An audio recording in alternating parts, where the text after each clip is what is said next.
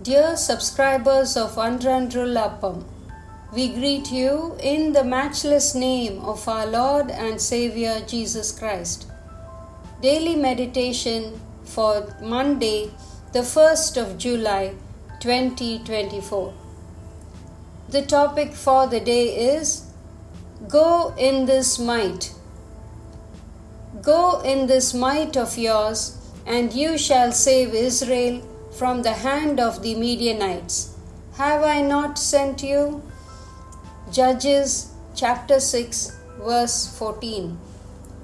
The mighty God of Israel, the Lord of hosts, has given you a mighty promise for this month to go in this might of yours. Go forth in the name of the Lord. The Lord is with you. His presence and power shall go with you. Therefore, go forth with your strength and faith. Many people are wearied today. One day, Gideon was sitting in such weariness because their enemies, the Midianites, were ruling over them.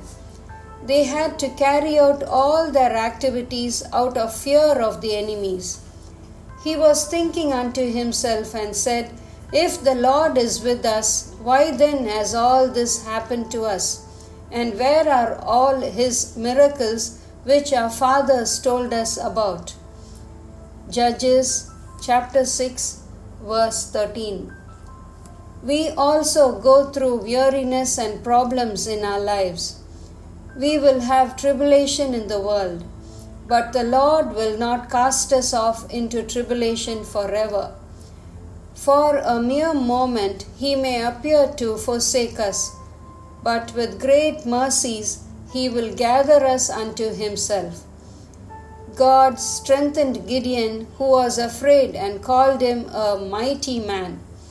The Lord said to Gideon, who lacked strength and power, to Go in this might of yours. One of the devil's great tricks is to bind people with a spirit of fear. He makes the people of God to be inactive by keeping them constantly bound in fear of situations, fear of problems, and fear of the future. The Bible says, For God has not given us a spirit of fear, but of power and of love and of a sound mind. 2 Timothy chapter 1 verse 7 Do not be discouraged by your weakness. Do not dwell on your shortcomings and succumb to inferiority complex. Look unto the Lord. He is so powerful. He loves you and grants you his might and strength. You shall receive power when the Holy Spirit has come upon you. Acts chapter 1, verse 8. Apostle Paul had many weaknesses. He was tormented by a thorn in the flesh like a messenger of Satan. Hundreds of evil forces were fighting against him to weary him down. But his testimony amidst all these tribulations was, I can do all things through Christ who strengthens me. Philippians chapter 4 verse 13. Children of God, keep on reciting the above verse. When you do that, the word of God, which is spirit and life, will surely strengthen your spirit, soul, and body. Verse for further meditation.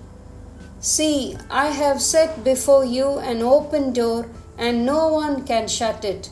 For you have a little strength, have kept my word, and have not denied my name. Revelation chapter 3, verse 8.